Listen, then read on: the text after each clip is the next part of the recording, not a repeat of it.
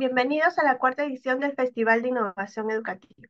En nombre de la Universidad Peruana de Ciencias les agradecemos por acompañarnos. Mi nombre es Graciela Doria y seré la presentadora del webinar Explorando la percepción de confianza de los profesores en herramientas de inteligencia artificial para evaluar ensayos, el cual estará a cargo de Judith Marcelo.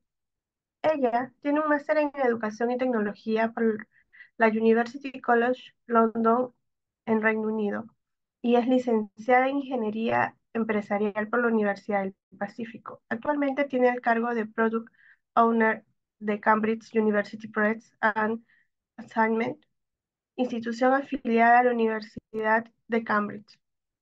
Indicarles que al finalizar el webinar habrá una rueda de preguntas y respuestas.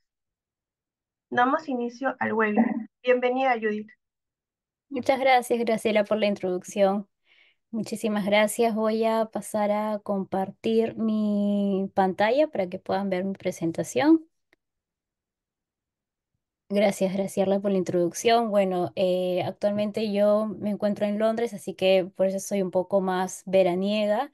Eh, y nada, bueno, acá es verano, está haciendo un poco de calor, así que eh, este, por eso un poco em, este, esta, este, este vestuario. Pero bueno, muchas gracias a ustedes por, unirse al webinar de Explorando la Percepción de Confianza de los Profesores en Herramientas de Inteligencia Artificial y específicamente para evaluar ensayos. Eh, primero quisiera un poco, ya que varios de ustedes están eh, conectándose de distintas universidades, distintas partes de, del mundo, y quisiera que por favor compartan en el chat qué es para ustedes inteligencia artificial. Em, Creo que es importante un poco saber esta o reconocer o identificar las definiciones que puedan existir de inteligencia artificial, ya que cada y distintas instituciones, incluso organizaciones, empresas, lo definen de distinta manera. Entonces, simplemente compartan por el chat qué es para ustedes inteligencia artificial eh, y así entre entre los comentarios que puedan encontrar en el chat también van nutriendo y identificando nuevas definiciones o definiciones que puedan ayudarlos también a tener una mayor claridad de esta, de esta tecnología. Em, seguro ustedes también han escuchado de esta herramienta de ChatGPT, eh, bastante conocida, bastante popular, popular y em, quisiera que lo tengan en mente porque eh, lo que yo ahorita voy a explicar a continuación es, ha sido el tema de, mi tesis que he realizado em, a través de la maestría que Graciela compartió en Educación y Tecnología, donde eh, principalmente, ¿por qué decidí em, enfocarme un poco en las herramientas de educación y tecnología? Lo que sucede es que hay un pronóstico que en menos de 10 años, estas herramientas van a crecer más de un 30%. Entonces, cada vez va a haber más eh, empresas este, organizaciones que van a implementar estas herramientas, que van a empezar a innovar con estas herramientas. Entonces, es, es bastante necesario poder saber qué es lo que, qué es lo que está eh, viniendo en el futuro. Así que eh, por eso decidí involucrarme un poco más en realizar mi tema de investigación relacionado a estas herramientas de, estas distintas tecnologías y en específico inteligencia artificial. Entonces, ¿cuál fue mi propuesta de maestría que, que estudié eh, a través de, la universidad acá en Reino Unido en durante un año? Tenía la propuesta y la, la la pregunta, idea de explorar la percepción de los de confianza de los profesores hacia herramientas de inteligencia artificial. ¿Por qué? Algunos se preguntarán, Judy, pero ¿por qué la percepción de confianza? Esto es bastante eh, cualitativo, fácil, un poco subjetivo, etcétera, etcétera.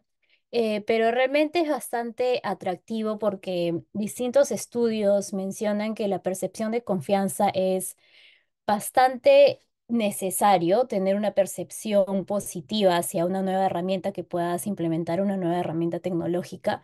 ¿Por qué? Porque esto puede ayudar a ser una herramienta recurrente en el uso de, tu, de las aulas, en el uso de tu día a día.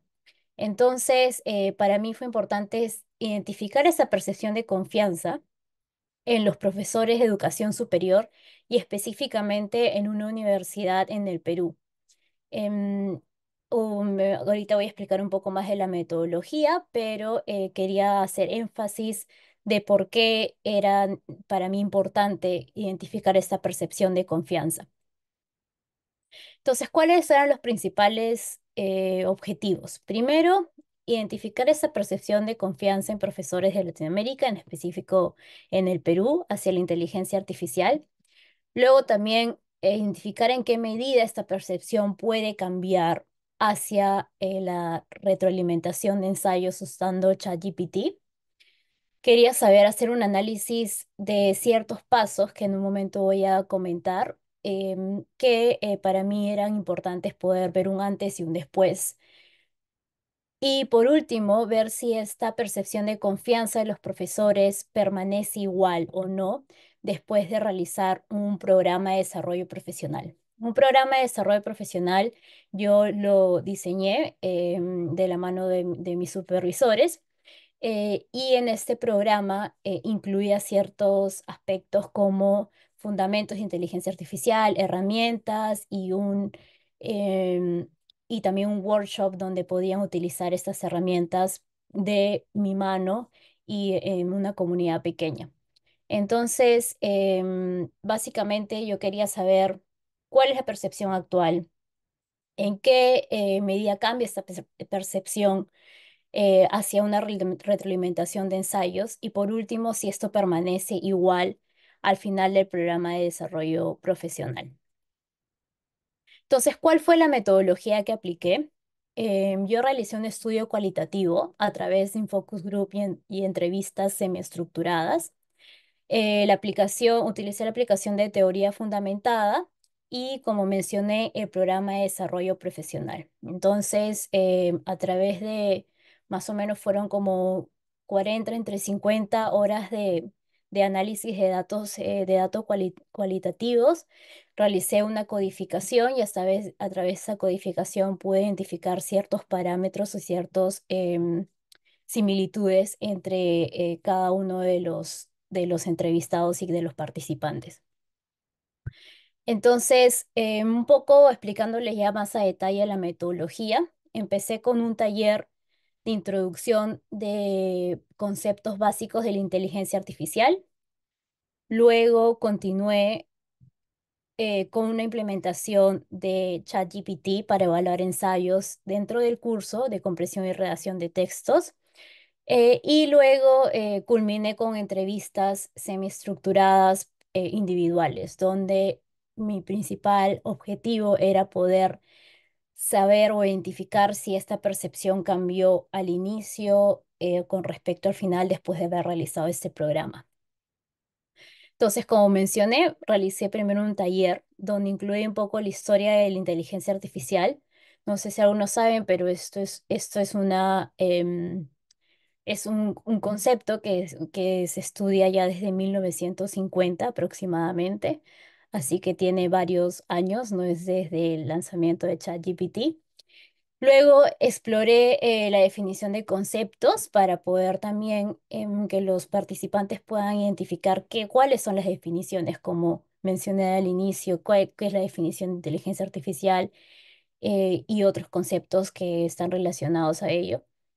Luego ejemplos de aplicaciones de inteligencia artificial en la educación.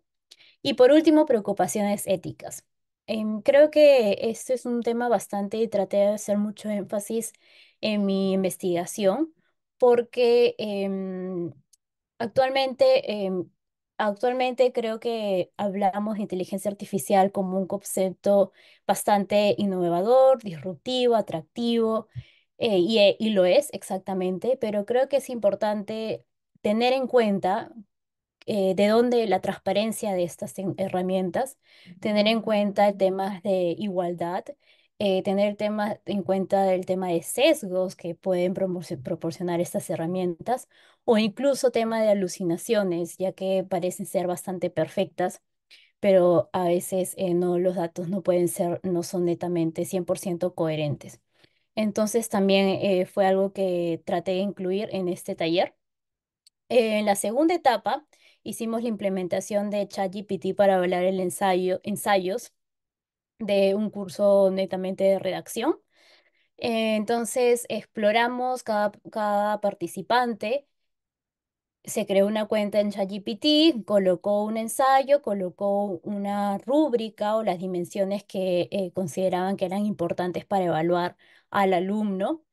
eh, y eh, ChatGPT mostró con detalles específicos el puntaje, retroalimentación por cada una de las dimensiones de la rúbrica y comentarios adicionales también generales al ensayo. Entonces fue bastante individualizado.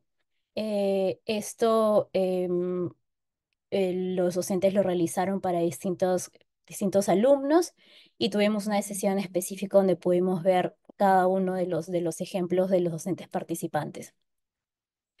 Eh, el tema de recolección, luego la tercera parte fue una entrevista semiestructurada en que hubo recolección de datos eh, cualitativos, como mencioné, más de 40 horas, eh, y un análisis temático, el cual también mencioné anteriormente. Entonces, simplemente para tener idea de esto, fue un, e- un equipo bastante reducido, fueron 10 participantes a nivel nacional y profesores de redacción. Eh, distintos rangos de edad, desde 31 hasta más de 60 años y también eh, distintos géneros. Entonces está era un, un grupo bastante em, diverso. ¿Cuáles fueron los hallazgos de esta investigación? Para mm, entender un poco los hallazgos es necesario entender este instrumento que es para medir la confianza de los profesores en inteligencia artificial. Este instrumento ha sido utilizado en distintas instituciones en Europa, donde identifican eh, siete, siete factores principales para un poco entender este nivel de confianza de los profesores específicamente para la herramienta de inteligencia artificial.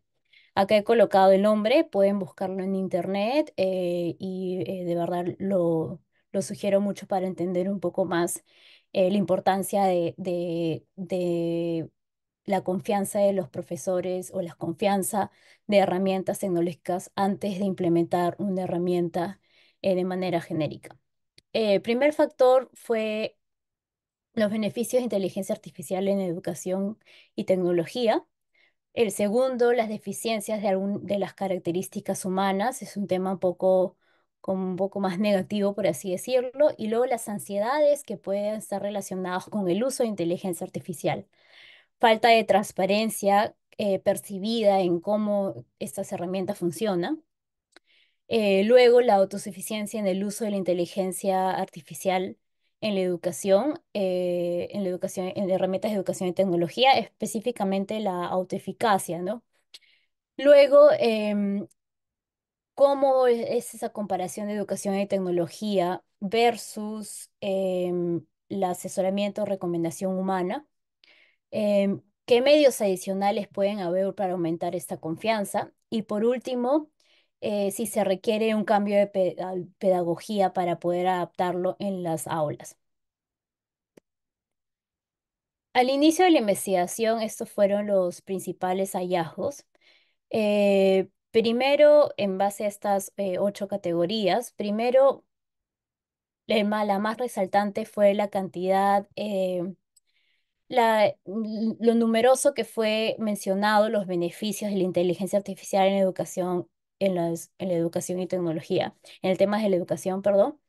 Estos em, beneficios principalmente fueron orientados hacia el alumno, más no hacia el docente. Muchos comentaban que, bueno, entonces a la hora el alumno puede hacer ensayos de manera automática, eh, de manera rápida, el facilitismo, etcétera, etcétera. Entonces fueron como beneficios un poco más hacia el alumno. Eh, como mencioné, algunos mencionaban, esta herramienta puede ser utilizada de una manera ventajosa. La inteligencia artificial va a ayudar muchísimo al estudiante pero eh, por otro lado también, eh, como vemos aquí en, en la parte, en este cuadro, las ansiedades también eran bastante, bastante altas. Con ansiedades me refiero que algunos mencionaban, los chicos están muy avanzados en la automatización y todo ello es importante estar a la par. Había como una ansiedad de que los alumnos están mucho más avanzados y saben mucho más de estas herramientas tecnológicas, mientras yo como docente me estoy quedando atrás, por así decirlo. Entonces había esta necesidad de cómo me pongo a la par del alumno y no me quedo atrás de él. Luego, por otro lado, comentaba otra, eh, otro participante. eh, al inicio yo tenía una primera percepción de que esto no aportaba mucho y que esto es una herramienta bastante negativa. Y por último, em, algunos mencionaban también esta ansiedad de que, bueno, ahora mi práctica pedagógica puede ser bastante eficiente, pero esto no me asegura que el próximo año yo siga siendo el, el mismo, tenga el mismo nivel de eficiencia que ahora tengo. Entonces, había estas ansiedades un poco de estas herramientas, puede incluso reemplazar mis actividades, incluso reemplazar mi rol, o yo me estoy quedando atrás del alumno y ahora el alumno va a saber más que yo, etcétera, etcétera. Entonces, había muchas ansiedades negativas al inicio del estudio. Eh, y por otro lado, también las deficiencias en características humanas. Em, algunos comentarios fueron, si fuera un humano, eh, te diría yo lo he hecho y no lo puedo corregir, sin embargo, ChatGPT sí lo ha hecho y él da sus recomendaciones, ¿no? Eh, como mencioné, eh, había mucho este tema de que, bueno, ChatGPT en unos minutos, segundos pueda generar un resultado bastante bastante preciso, rápido, que puede simularse ser casi perfecto. Eh, y luego otros mencionaban, pero bueno, ChatGPT yo siento que tiene un estilo, como un estilo, no sé, robótico, por así decirlo, porque es una máquina. eh, por mucho que sea diferente, la información que genere cada vez tiene un estilo. Entonces, ellos identificaban a esta herramienta específicamente ChatGPT como una herramienta que puede, eh, tiene un estilo, carece de características humanas y por ende puede ser que no considere un poco el uso de esta herramienta. Entonces, todo esto, como mencioné, es netamente al inicio de la investigación, al inicio del estudio. ¿Qué ocurrió después de la investigación? Como mencioné, yo realicé un taller, un programa de desarrollo profesional donde comuniqué ciertos aspectos necesarios, fundamentales para poder comprender qué es inteligencia artificial ejemplos de herramientas, utilicé con ellos de manera eh, personalizada, por así decirlo, la herramienta, fui de apoyo, ayuda para poder este, consulta, eh, resolver sus dudas. Entonces, eh, ¿esto qué generó?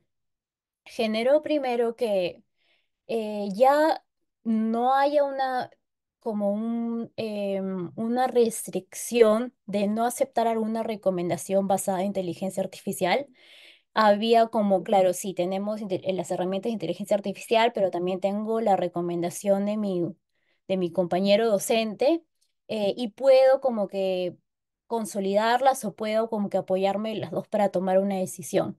Entonces, esto aumentó considerablemente. eh, antes del, del- de empezar el estudio, esto era bastante limitado, fue muy pocas veces mencionado.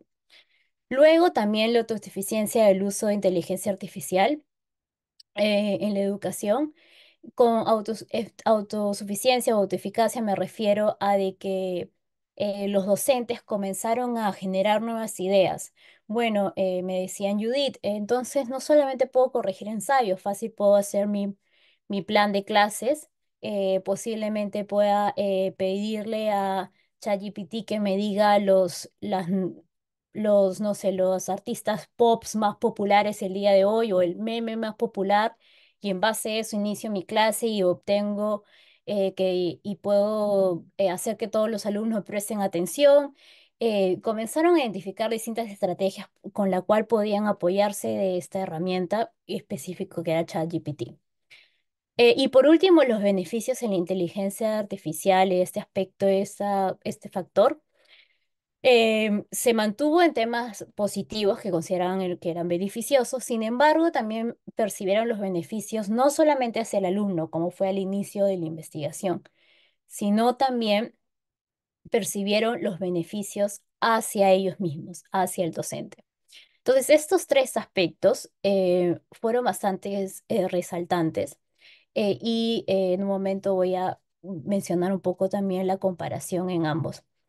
Entonces, eh, simplemente para explorar un poco más y ser más específica en qué se, en qué mencionaba un poco estos beneficios del, uso de esta herramienta, Uno, uno de los participantes mencionó, la parte de la, retroalimentación, estoy viendo que facilita bastante el trabajo ahora, eh, permite, eh, permite, digamos, retroalimentar al estudiante como si fuera algo individualizado, ¿no? Como vimos en el, en el video que mostraba al inicio eh, tener una retroalimentación específica por cada una de las dimensiones eh, y una retroalimentación general puede ser también bastante ayuda para los estudiantes, ¿no? Eh, simplemente esto va un poco más fuera de, de la investigación, pero también algunos mencionaban, incluso yo puedo decirle al alumno, usa esta herramienta de ChatGPT, coloca tu ensayo que le vas a entregar como tarea, no lo sé, o tu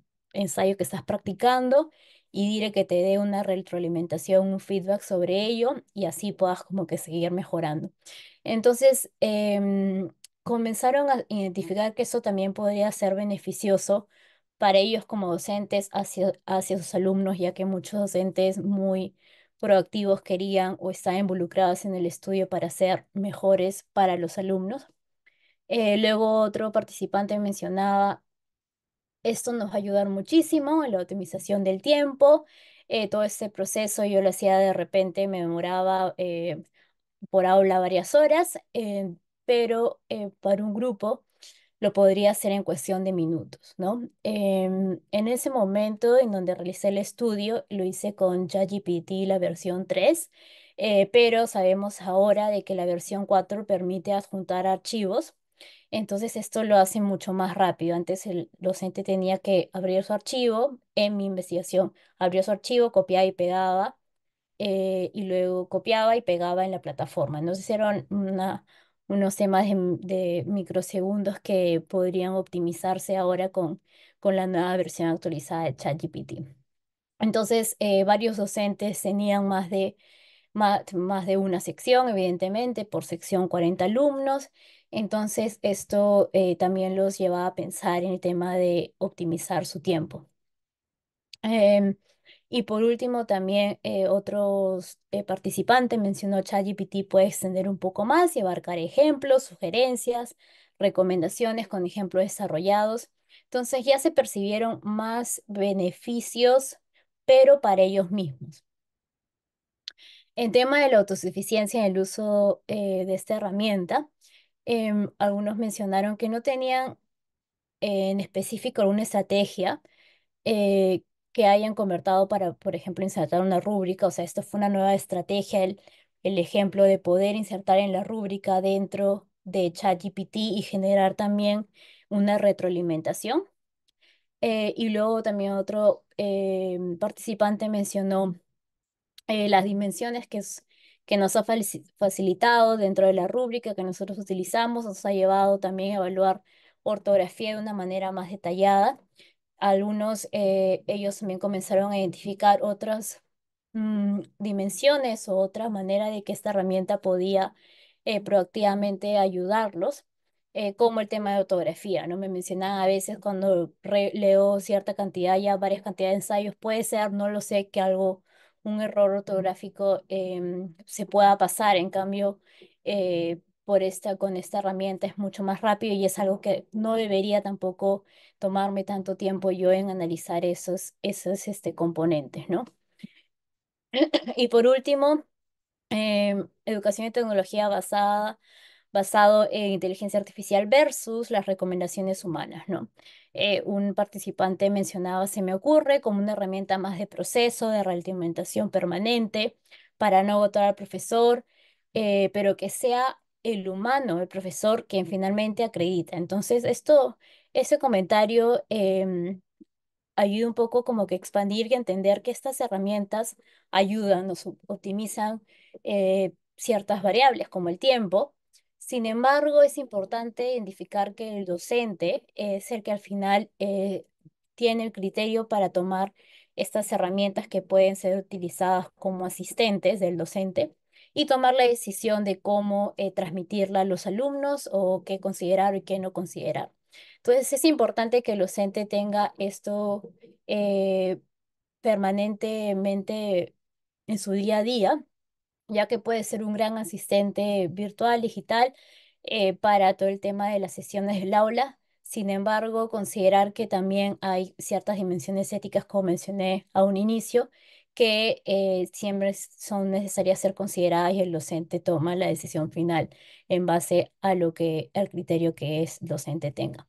Entonces, ¿cuál fue eh, el, el, análisis identificado a través de ya em, saber eh, identificar estos factores al inicio de la investigación y después del programa de desarrollo profesional?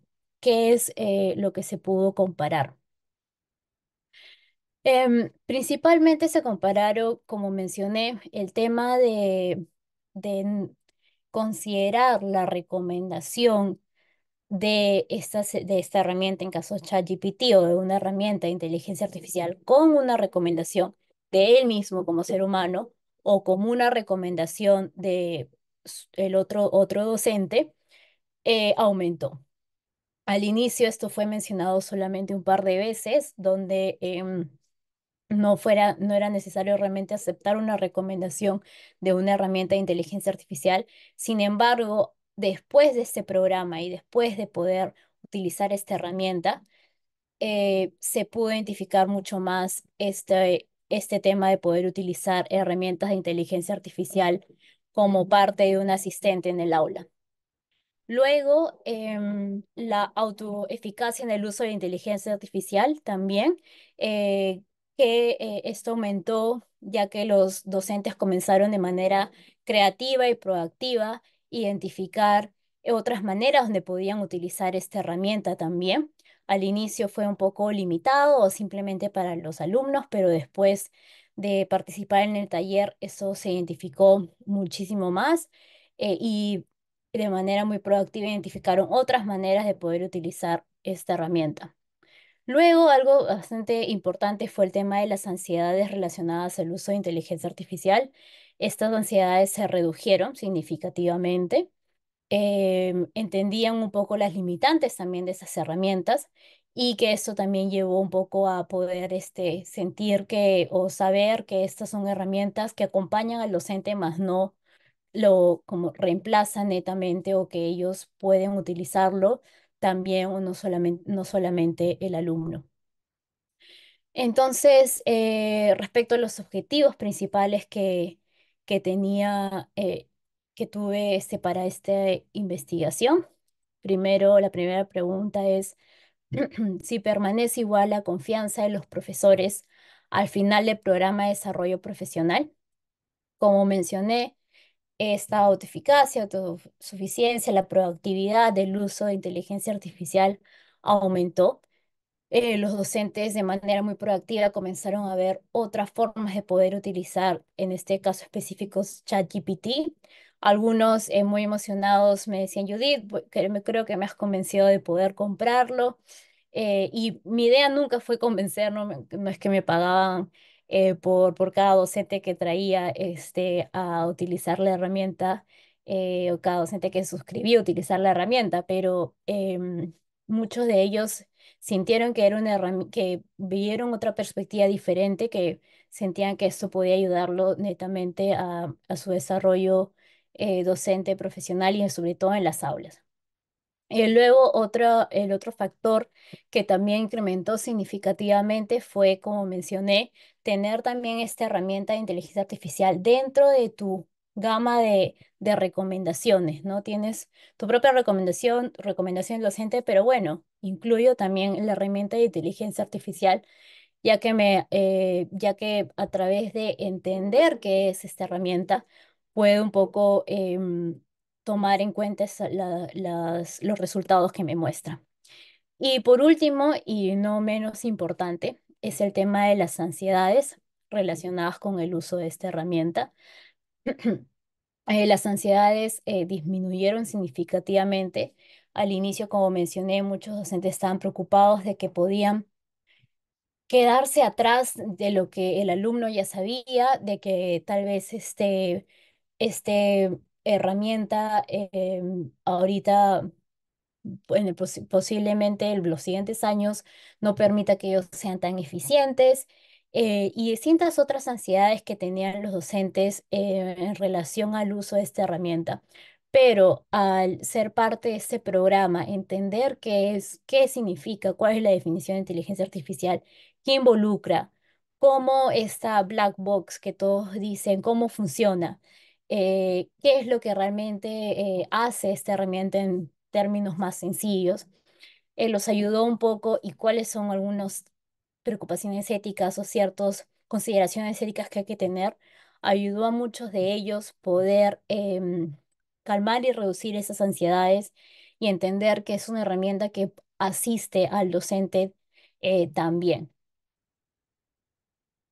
Entonces, eh, una de las preguntas también que, em, que mencioné al inicio, que me, me pareció bastante relevante, ya que, como mencioné, este em, instrumento em, para analizar la percepción de confianza en el tema de inteligencia artificial fue desarrollado en Europa, en países de Europa, más no en América Latina. Entonces, eh, para mí fue relevante también entender eh, ¿qué otros, em, cuál es la percepción o qué otros factores son importantes también en el uso de esta herramienta en América Latina? Eh, entonces, algunos docentes y varios mencionaron ciertos distintos, distintos aspectos, pero se puede consolidar en tres principales. Primero, que hay una deficiencia en comunicación de inteligencia artificial. De verdad, eh, hablaba con, con Graciela, que hizo la introducción, y con otras personas también del equipo del festival, que eh, me parece buenísimo que haya estas oportunidades donde los docentes puedan escuchar estas innovaciones educativas, innovaciones tecnológicas, porque creo que esto es algo bastante importante y relevante. Muchos de los, de los estudios eh, de inteligencia artificial y educación y tecnología primero son publicados en inglés, eh, entonces el idioma puede ser un principal limitante pero estos espacios y estas comunidades nos ayudan a poder eh, mantener esta comunicación eh, perenne y continua. Así que de verdad, este, felicitaciones al equipo porque es una gran iniciativa poder seguir manteniendo esta comunicación. Luego, el segundo factor que mencionaron fue la falta de manejo de información y datos, ¿no? Eh, creo que es algo que em, He visto que creo que este año recién ha habido una nueva ley relacionada a inteligencia artificial, pero eh, esto también se tiene que limitar con la protección de, datos eh, personales. Eh, pero por otro lado, tiene que haber un balance un equilibrio porque en el caso de Perú, no, esto no ha sido muy priorizado. Entonces, como sabe, como, bueno, no sé si, si todos los eh, asistentes saben, pero la inteligencia artificial se nutre a través de cantidades exorbitantes de datos. Entonces es necesario tener una cantidad eh, extravagante de datos para poder hacer un modelo más preciso. Eh, y por último, limitaciones en acceso a Internet y recursos. ¿no? Entonces algunos docentes me comentaban, ya que esto fue un estudio a nivel nacional, que algunos de sus que en sus clases ven distintos tipos de alumnos, ¿no? El alumno que va con su laptop, iPad, celular y todos los dispositivos tecnológicos, mientras otro apenas tiene un smartphone o apenas tiene un celular que, em, que es bastante sencillo, entonces otros viven en zonas mucho más alejadas, eh, que eh, la, limitación internet también puede ser bastante eh, preocupante. Entonces es algo importante que considerar también al implementar este tipo de, herramientas. Y eh, en qué medida cambia esta percepción de los, de los profesores hacia la retroalimentación de ensayos en ChatGPT. Entonces, una comparación netamente de, percepciones positivas y negativas.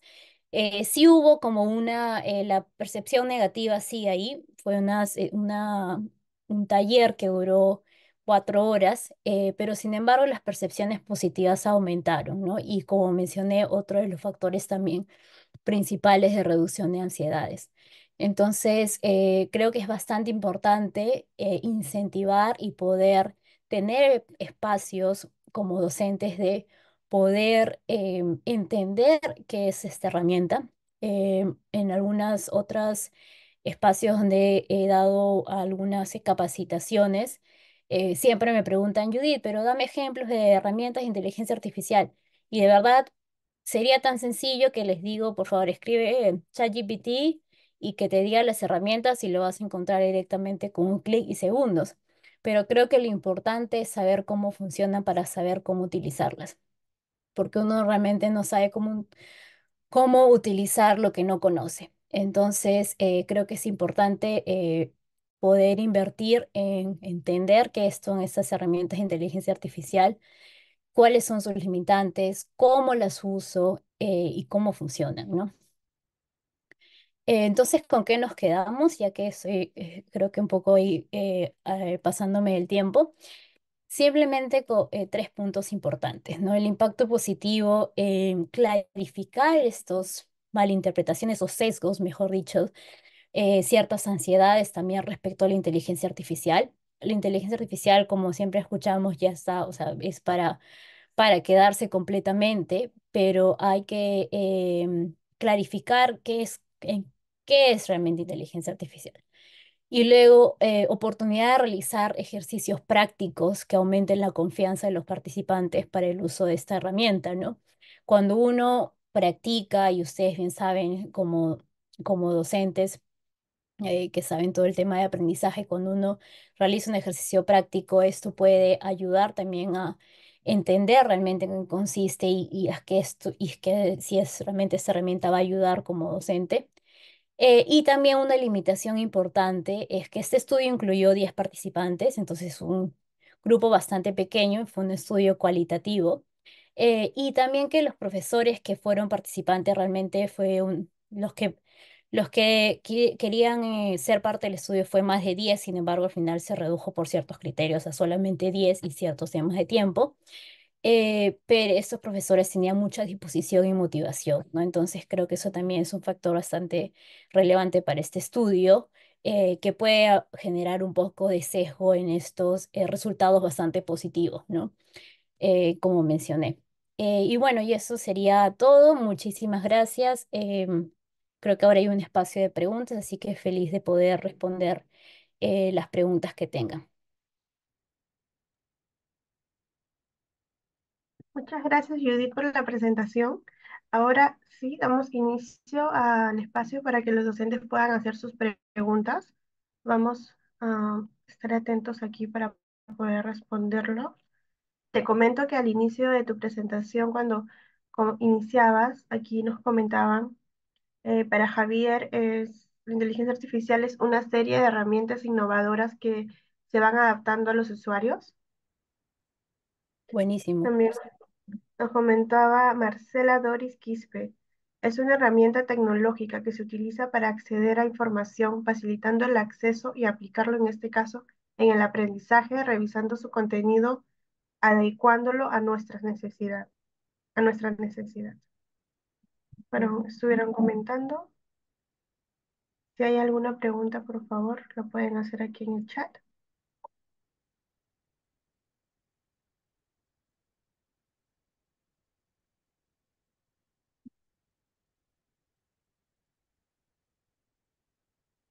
Mm, me parece que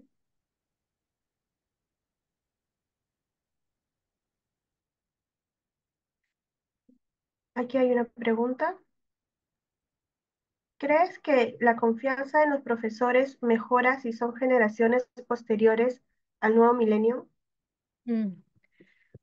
Eh, buenísimo, buena pregunta. Em, de, sí, a mí también me, me llamó un poco la atención y traté de en el estudio identificar también distintas generaciones o incluir a docentes de distintas generaciones. Y realmente yo creo que em, la percepción eh, no influye en tema generacional, eh, específicamente después de ese programa de desarrollo profesional. Como comenté, realizamos todo, todos los 10 participantes realizaron este, este programa de desarrollo profesional y habían docentes de distintas edades y distintas generaciones.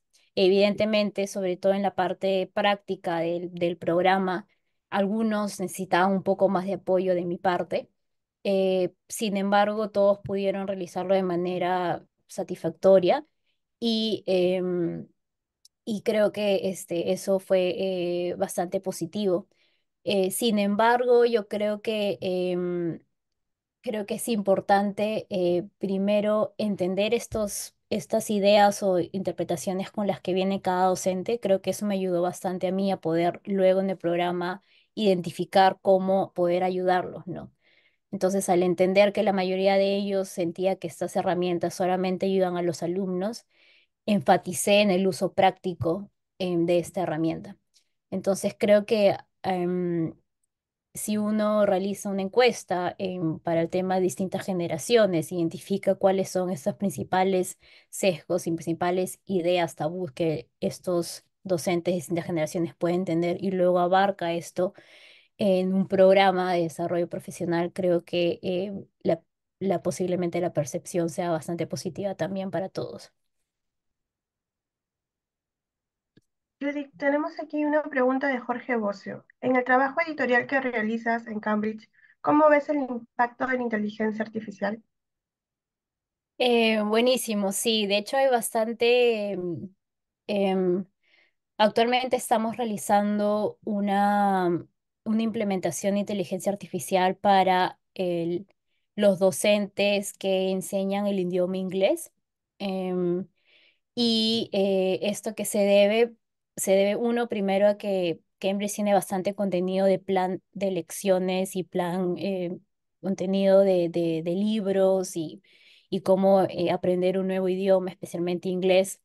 Eh, y el problema que estamos identificando es de que hay tantos materiales eh, que están en distintas plataformas eh, y en distintos este, formatos, así que le estamos incluyendo a una herramienta que estamos trabajando con un partner para poder ayudar al docente a diseñar un plan, una lección para un, el grupo de alumnos en específico, o incluso eh, para docentes que puedan ser eh, como freelancers o privados del, del idioma inglés, em, entonces que puedan relacionar o realizar una, un plan eh, de trabajo específicamente para un alumno. Entonces estamos realizando ahorita ese producto y, y nada, este como es un otro proceso eh, escolar, eh, posiblemente septiembre, que inicia el año escolar en, Reino Unido, eh, se ha lanzado. Pero sí, es, es, es bastante utilizado, es probado y sobre todo con toda la información de, de Cambridge University de más de, más de 400 años, sobre todo el, el PRESS, el departamento de PRESS. em, es bastante necesario realizar y utilizar ese tipo de herramientas. Gracias, Judith. Tenemos una pregunta más. Aquí es Carol Frisancho pregunta, ¿recomendarías algún curso de preparación en inteligencia artificial? ¿Sabes si hay algunos disponibles? ¿O consideras que podría iniciar, em, podría hacerse con una exploración propia? Sí, de todas maneras, eh, podría hacerse de una con una exploración propia o con también este, eh, cursos proporcionados, por ejemplo, eh, Google proporciona cursos de inteligencia artificial en la educación y también Microsoft. Eh, esto ayuda un poco a entender los conceptos. em, sin embargo, hay distintos em, distintos académicos que ahora también realizan eh, programas de webinars eh, o de workshops relacionados específicamente a educación y tecnología. Ahorita no, no recuerdo muy bien el nombre, pero eh, pueden buscarme en, en, mis redes y ahí también comparto un poco de información relacionada a ello y también otros em, académicos influentes específicamente en educación y tecnología que pueden ayudar con distintos artículos. Judith, tenemos una última pregunta de Joel Alcalde. El- la pregunta es, ¿cómo gestionar la desconfianza de los docentes a herramientas de la inteligencia artificial? ¿Y cómo gestionar la desconfianza de los padres de familia a las herramientas de inteligencia artificial? Perfecto. Sí, sobre la primera pregunta, eh, creo que es muy importante entender en qué se basa esa desconfianza. Creo que por eso el, el el marco de referencia con el que trabajé, que es el instrumento para identificar esta confianza, ayuda un poco a tener idea en qué se basan estas desconfianzas, ¿no? El docente principalmente, lo que yo vi en mi estudio es que la mayoría de docentes es la causa de la desconfianza para ellos son las ansiedades que puedan tener respecto a esta herramienta.